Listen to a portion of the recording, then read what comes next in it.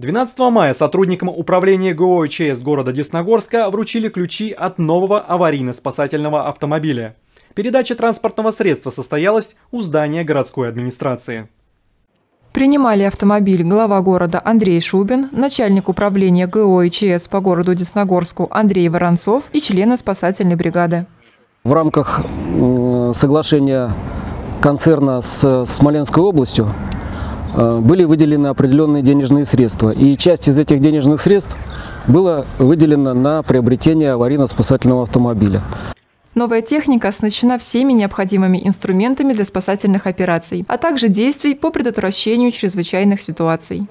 Два новых разжима, ножницы, насос механический, универсальный разжим.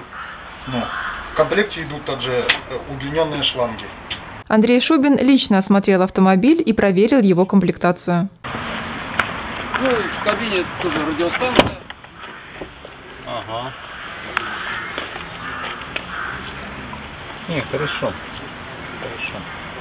Сотрудники управления ГО и ЧС города Десногорска работают в критических и опасных условиях. От оперативности и слаженности их работы зависит жизнь и здоровье других людей. Поэтому спасатель должен быть уверен в надежности рабочего транспорта и спецоборудования. Новое аварийно-спасательное оборудование, что позволит теперь э, гораздо с большей эффективностью и качеством оказывать помощь гражданам, попавшим в беду.